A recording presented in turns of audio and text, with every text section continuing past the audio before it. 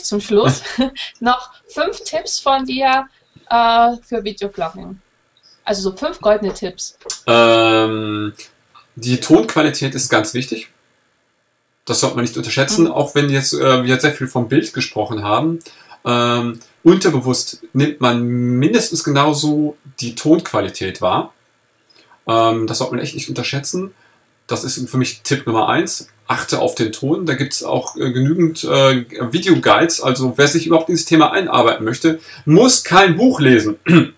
Entschuldigung. Ähm, es reicht äh, entsprechend bei YouTube mal ein paar entsprechende Schlagworte einzugeben und sich so gesehen schlau zu äh, schauen. Es gibt massenweise gute äh, Videotutorials, die alles Mögliche in diesem Themenbereich erklären. Das wäre so gesehen vielleicht Tipp Nummer ganz eins. Mach dich schlau.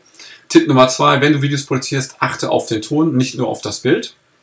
Äh, Tipp Nummer drei ist, ähm, überleg dir von vornherein eine Reihe von Videos aus einem Thema zu machen. Denke nicht im Sinne von, dieses eine Video muss ganz Gottverdammt alles erklären.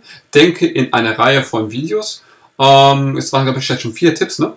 Tipp Nummer 5, 3. Tipp Nummer 4 ist, jedes Video alleine muss dich und deinen Channel verkaufen. Will heißen, du hast zu Anfang eine Einleitung, heute reden wir über Thema XY und dann muss irgendwo auch relativ früh in den ersten paar Sekunden ein Part drin sein, in dem du erklärst, worum es in deinem YouTube-Channel generell geht.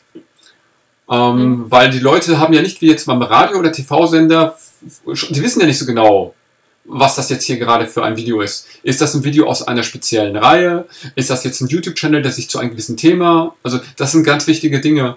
Ähm, dann auf jeden Fall interagiere mit deinen Zuschauern. Auch wenn du allein jetzt vor der Kamera nur sitzt, mach auch zwischendurch vielleicht mal eine Umfragevideo zu einem Thema. Ähm, betrachte YouTube äh, wie Twitter, Facebook, was auch immer, als ein Social Network. Antworte auf Kommentare gehörte, glaube ich, auch mit zu. Ganz herzlichen Dank, dass du mir hier Rede und Antwort standest rund um das Thema V-Plugin. Ich glaube, äh, dass wir, wir werden die Videos ja auch hier aufteilen in kleine Häppchen und äh, dass da viele Informationen, Tipps auch für Kollegen aus der Verlags- und Buchbranche dabei sind und wir beide sind gespannt, wie sich das in den nächsten Monaten, Jahren, sich die Akteure, Autoren, Verlage, Buchhändler vielleicht auch ähm, dem Thema nähern oder ob sie sich überhaupt dem Thema nähern werden. Und ähm, ich wünsche dir noch viel Erfolg, viele Zuschauer für deine Videos. Danke. Ideen hast du ja immer und ähm, auf ein nächstes Mal. Ich sag einfach mal Winke, Winke. Bis bald. Viel Spaß. Good night and good luck.